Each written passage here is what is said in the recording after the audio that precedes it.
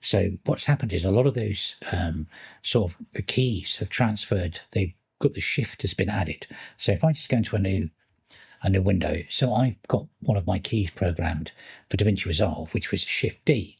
It was Super D. Nothing happens. So I'm sure there was a lot of people like going Super.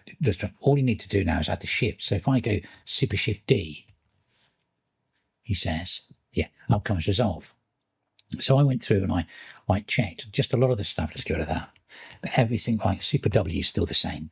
But if you wanted to get btops up, you just you would have done Super T, but now it's Super Shift T, so it brings up btops, and then you can just go Super F and go full screen, which is great because it was on F11 for some reason before, but it's not now. So just if you press Super F again, then you go back to normal. So let's just jump back to workspace one. So that's been you see here, and the other one that was I found really weird was copy and paste because it used to be Super Shift C, I think, and Super C, and it was just used to throw me. So now it's just Super C and Super V. Um, so that sort of is, is you know works better in my brain.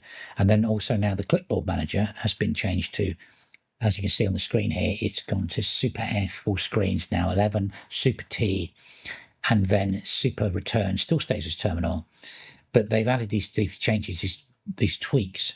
Now, what would have happened if you go to into here and you go, hang on a minute, setup, setup key bindings, and it launches your key bindings. For me, it launches Kate.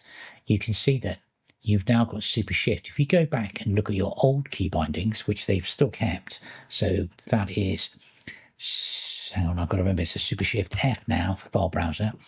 If you go back into your config, go back into your config file, he says, looking down, where is? Where are you? Config. And then you've got Hyprland.